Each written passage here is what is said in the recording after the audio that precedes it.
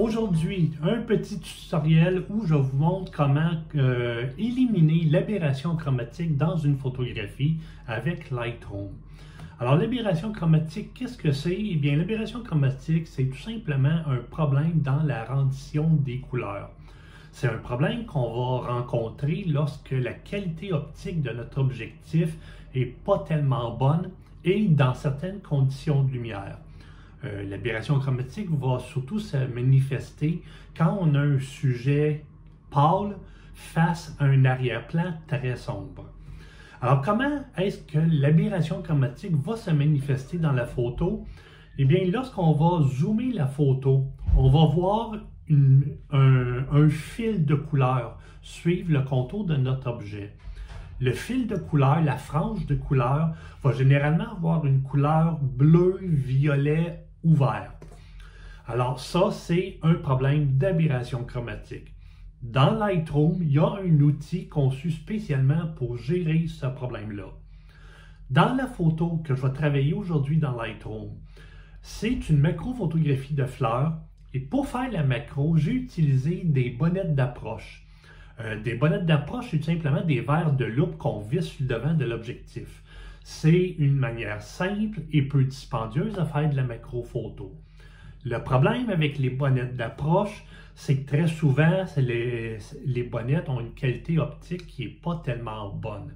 Et dans la photo que je vais travailler, l'aberration chromatique est vraiment très prononcée.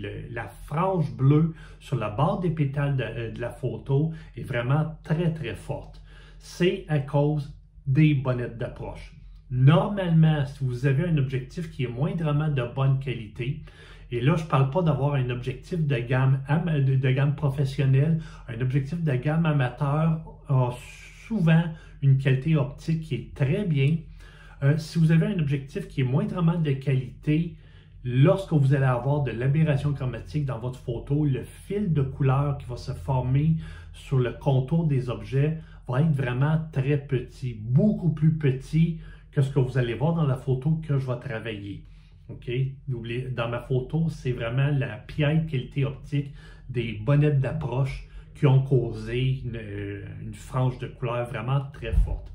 Alors, on s'en va dans Lightroom. Vous allez voir, c'est pas très très compliqué d'éliminer l'aberration chromatique. Il suffit juste de prendre son temps et d'être méticuleux en faisant le travail.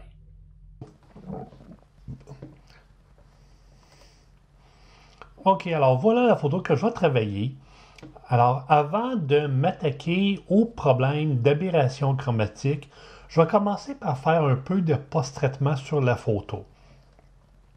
Alors, lorsque je regarde ma photo, je m'aperçois que les basses lumières sont un petit peu trop sombres. Alors, je m'en vais prendre la courbe à point et je vais augmenter légèrement la luminosité des basses lumières, comme ça ici. Et ensuite, je vais diminuer la luminosité des hautes lumières, comme ça ici. Et finalement, utiliser les réglages de tonalité pour peaufiner le résultat de la lumière et du contraste dans la photo. Et comme ça ici, et voilà. Ensuite, je vais m'attaquer à la gestion des couleurs de la photo. Alors, si je regarde ma photo, je vois qu'il y a des régions où le rouge est tellement saturé qu'on perd tous les détails. Et dans d'autres régions, les couleurs euh, rougeâtres sont très peu saturées. Alors, pour égaliser le niveau de saturation entre les couleurs très saturées et les couleurs moins saturées, on utilise la, euh, fonction saturation et vibrance. Alors, pour euh, si vous ne savez pas la différence entre vibrance et saturation, je vous invite à regarder mon tutoriel où j'explique en détail la différence entre les deux. Alors, dans un premier temps, je vais diminuer la saturation, comme ça ici. Et là, vous voyez, j'ai en diminuant la saturation, j'ai retrouvé les détails à l'intérieur des rouges qui étaient beaucoup trop saturés tout à l'heure. Et là, je vais augmenter la vibrance question de ramener un peu de, saturation dans les couleurs qui, sont faiblement saturées. Voilà. Comme ça ici.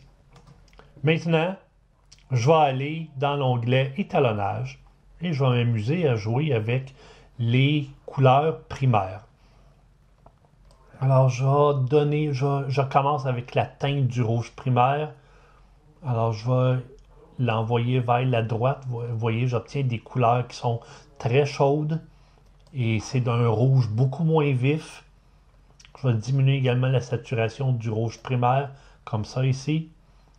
Maintenant, avec la teinte du vert primaire, je vais faire ça je vais faire je vais l'envoyer vers la gauche comme ça ici et je vais augmenter la saturation du vert primaire et maintenant avec le bleu primaire oh, je vais l'envoyer juste comme ça ici. Voilà.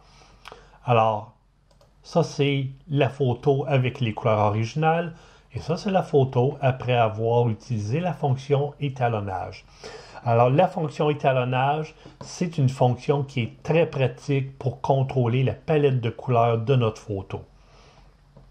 Euh, je vous invite encore une fois à regarder mon tutoriel sur la fonction étalonnage. Maintenant, ce qui me dérange dans cette photo-là, c'est le vert éclatant qu'il y a à l'arrière-plan.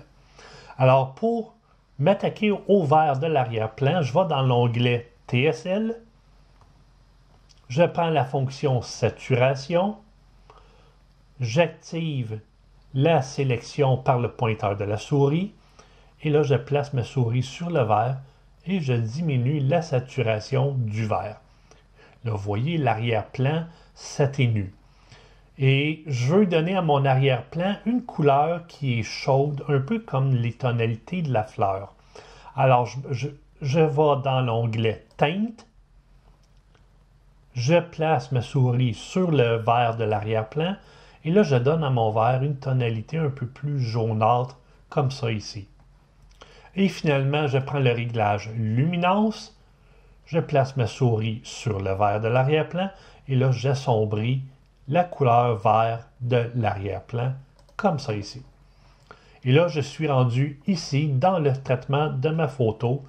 Et maintenant, je vais m'attaquer au problème d'aberration chromatique.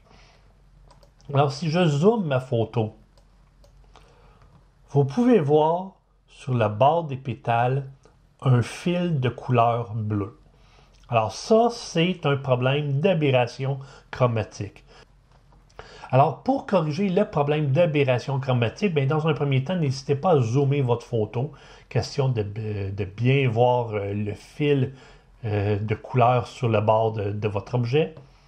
Et pour corriger l'aberration chromatique, vous allez dans l'onglet correction d'objectif et vous vous mettez en mode manuel.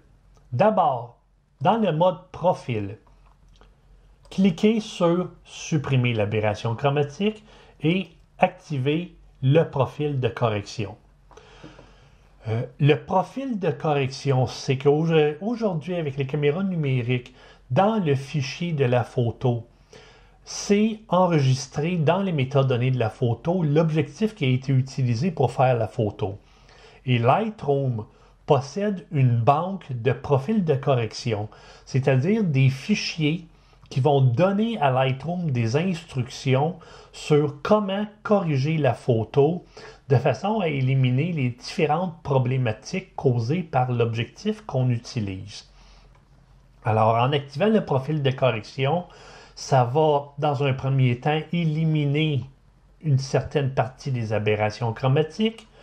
Ça va, si vous cochez supprimer l'aberration chromatique, ça va le faire encore plus.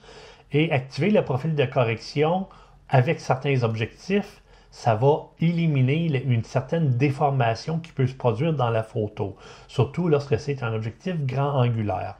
Alors ça ici, supprimer l'aberration chromatique et activer le profil de correction. Assurez-vous que ce soit toujours coché. Euh, vous pouvez dire à Lightroom d'utiliser la valeur par défaut. Vous pouvez lui dire de le faire automatiquement. Vous pouvez lui dire de, euh, sélectionner manuellement le profil. Normalement, la valeur par défaut donne toujours des bons résultats. Lightroom va être capable d'identifier l'objectif utilisé pour faire la photo et il va choisir le profil de correction approprié. Dans l'éventualité où Lightroom ne serait pas capable de détecter l'objectif que vous avez utilisé, eh bien, si vous cliquez ici, voyez, vous avez une liste d'objectifs de caméra Nikon. OK, Lightroom a reconnu que ma caméra est une Nikon. Et là, il me propose là, les profils de correction de tous les objectifs fabriqués par Nikon. Alors, j'ai juste à choisir le bon profil. Dans l'éventualité où il ne serait pas capable de lire les métadonnées qu'il y a dans la photo. Une fois que les réglages de profil ont été bien ajustés, vous allez dans l'onglet Manuel. Et là, vous avez ici la fonction Supprimer la frange. Et c'est ça qui nous intéresse. On veut supprimer la frange de couleur qu'il y a sur le bord des pétales ici. Alors, on clique sur la pipette et on va, se placer sur la frange et on clique dessus. Et là, si on vient ici, on voit que Lightroom a sélectionné la gamme de couleurs qui correspond à la couleur de la frange. Et il a appliqué une valeur de correction. Alors, attendez, je vais juste déplacer ma photo pour qu'on puisse bien voir la, frange ici. Voilà. Alors, vous voyez ici, entre les, entre les deux curseurs, c'est la couleur de la frange que Lightroom a identifiée. Et là, si j'augmente la valeur, on peut voir la frange qui commence à, s'estomper. La frange est bleutée. Et je vois ici que Lightroom n'a pas sélectionné toutes les teintes de bleu. Alors, je vais déplacer le curseur comme ça ici, de façon à aller chercher toute la teinte de bleu qui correspond à celle de la frange. Et là, en jouant avec la valeur, je réussis à amoindrir la frange. On peut aussi utiliser la gamme des verts. Et si on regarde dans la teinte des verts, on voit que complètement à droite, il y a une certaine teinte de bleu. Alors, je vais placer les curseurs pour aller sélectionner la teinte de bleu qu'il y a ici et je vais augmenter la valeur de correction et ça va diminuer encore un peu plus l'intensité de la frange. Alors, en résumé, la façon dont la fonction supprimer la frange fonctionne. Avec la pipette, avec la pipette pardon, on clique sur notre frange pour sélectionner la couleur de la frange. Ensuite, avec la teinte de violet, on place les deux curseurs pour aller sélectionner la couleur de notre frange. Avec le curseur valeur, on, ajuste l'intensité de correction. Alors, plus on va augmenter la valeur, plus la frange de couleur va se désaturer. Et on, a ici les mêmes réglages, mais du côté des teintes verdâtres. Et on choisit la gamme de couleurs qui correspond à notre frange et on augmente le curseur valeur pour éliminer la couleur de notre frange. Voilà. Alors, avec la fonction supprimer la frange, j'ai réussi à éliminer une bonne partie de l'aberration chromatique. Alors, vous voyez, ça, c'est la photo sans correction. La frange bleue est vraiment très accentuée. Et ça, c'est la photo avec la correction. La frange bleue est presque partie. Maintenant, si on regarde ici, on peut voir qu'il y a encore un petit peu de bleu sur le bord des pétales. Alors, pour compléter la correction, on va dans les outils de retouche locale, dans l'outil masquage, on prend un pinceau, on s'assure que le débit et la densité sont au maximum, c'est-à-dire à 100. Et là, ici en bas, on a le réglage supprimer la frange.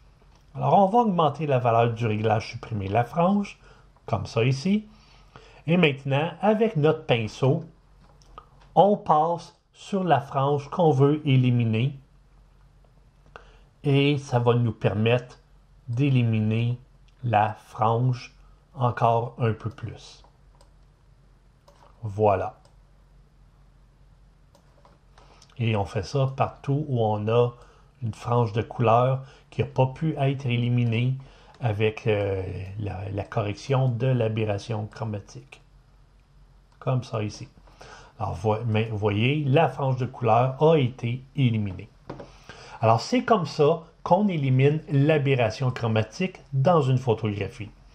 Je dois dire que la photo que j'ai utilisée dans le tutoriel avait une aberration chromatique extrêmement prononcée à cause des bonnettes d'approche que j'ai utilisées pour faire la photo. Normalement, si vous avez un objectif de qualité, l'aberration chromatique qui va se manifester dans les photos va être vraiment très faible et uniquement avec la fonction supprimer la frange de l'outil correction d'objectif, vous allez être capable de complètement éliminer la frange de couleur. Mais ici, j'avais une photo où l'aberration chromatique était vraiment très très forte. C'était un cas extrême. Alors maintenant, ben, je vais compléter le post-traitement de ma photo. Donc, euh, voyons voir. Je vais prendre la courbe euh, paramétrique pour donner un petit peu de contraste, comme ça ici. Voilà. Comme ça ici.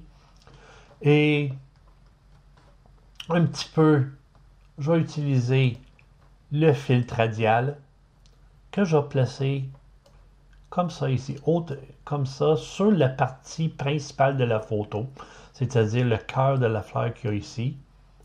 Je vais inverser le filtre radial, comme ça, et je vais assombrir la photo autour de la fleur, autour du cœur de la fleur. Voilà. Maintenant, un petit peu de color grading. Alors, dans les basses lumières, je vais ajouter une teinte bleu-violet. Je vais en diminuer la luminance comme ça ici. Dans les tons moyens, une petite teinte d'orangé très peu saturée et je vais en augmenter la luminance. Et dans les hautes lumières, une petite teinte de jaune verdâtre comme ça ici. Je vais en augmenter la luminance légèrement. Et maintenant, je joue avec la balance comme ça. Et j'augmente la fusion pour que les trois teintes de couleurs se mélangent bien les unes aux autres. Je vais sous-exposer encore un petit peu. Voilà. Maintenant, le cœur de la fleur est peut-être un petit peu trop sombre. Alors, je vais prendre un pinceau. Je vais diminuer la densité, diminuer le débit. Et avec le pinceau, je vais légèrement augmenter l'exposition de façon à augmenter la luminosité du cœur de la fleur. Comme ça, voilà. Maintenant, recadrer. Alors, pourquoi pas un cadrage carré? Voilà. Non, j'aime pas. Mon cadrage carré est un petit peu mal placé. Là, c'est mieux. Augmenter la clarté augmenter un peu la texture parce que les, pétales de fleurs, c'est toujours très texturé. Alors, j'augmente la, texture comme ça ici. Voilà. Question de faire ressortir la texture des pétales. Et finalement, un petit peu de vignettage comme ça ici. Voilà. Alors, le tutoriel d'aujourd'hui, c'était principalement pour vous expliquer comment utiliser l'outil euh, correction de l'objectif pour corriger les imperfections causées par l'objectif que vous utilisez en activant le profil de correction, en activant la, euh, suppression de l'aberration chromatique. Et ensuite, si vous avez une frange de couleur causée par une forte aberration chromatique, eh bien, vous avez ici l'outil supprimer la frange qui est conçu spécialement pour éliminer les franges de couleur. Euh, vous avez aussi l'outil distorsion qui va vous permettre de d'éliminer les problèmes de coussinage qui peuvent se produire dans une photo. Alors certains objectifs vont déformer la photo d'une façon telle qu'on va avoir l'impression que le centre de la photo est soit creusé ou soit bombé vers nous. Alors, avec l'outil de distorsion, on va pouvoir annuler ça en creusant le centre de la photo ou en gonflant le centre de la photo. Vous pouvez également, pourquoi pas, utiliser l'outil distorsion de manière créative si le cœur vous en dit.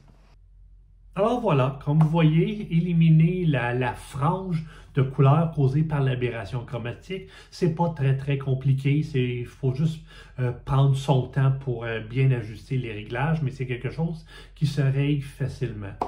Comme j'ai dit dans le tutoriel, la photo que j'ai utilisée a une aberration chromatique qui est vraiment très très forte. Et à cause de ça, dans Lightroom, j'ai pas été capable de l'éliminer à 100%. Euh, normalement, l'aberration chromatique est jamais aussi prononcée. Et le, peu d'aberration chromatique que vous allez peut-être avoir avec vos objectifs, vous allez pouvoir facilement l'éliminer au complet dans Lightroom. Alors, je relance une invitation que j'ai faite lors de mon dernier tutoriel. Si vous avez des photos qui vous présentent des difficultés lorsque vous les essayez de travailler dans Lightroom, ou si vous avez des photos que vous regardez votre image, vous voyez qu'il y a du potentiel dans la photographie, il y a quelque chose d'intéressant à faire avec la photo, mais vous ne savez pas trop comment faire le post-traitement dans Lightroom pour faire parler la photo, eh bien, je vous invite à m'envoyer vos photos sous forme de fichier RAW euh, dans le courriel, expliquez-moi la difficulté que vous rencontrez de, lors du traitement de la photo ou, euh, ou parlez-moi de votre image, qu'est-ce que vous aimeriez obtenir comme rendu avec votre photo. Et moi, ben, je vais faire un tutoriel de Lightroom dans lequel je vais travailler votre photo. Et évidemment, je vais vous nommer dans le tutoriel parce que je veux être certain que les gens sachent que ce n'est pas ma photo, mais que c'est votre photo que je travaille. Alors, euh, merci à ceux qui me suivent sur les réseaux sociaux. Si vous n'êtes pas abonné à mon compte YouTube, eh bien, faites-le. Euh, j'essaie de faire des tutoriels le plus souvent possible. Et écoutez, je vous dis, pour la retouche dans Lightroom, ben, soyez patient. C'est à force d'en faire que vous allez vous améliorer. Et je vous dis à la prochaine. Bye bye.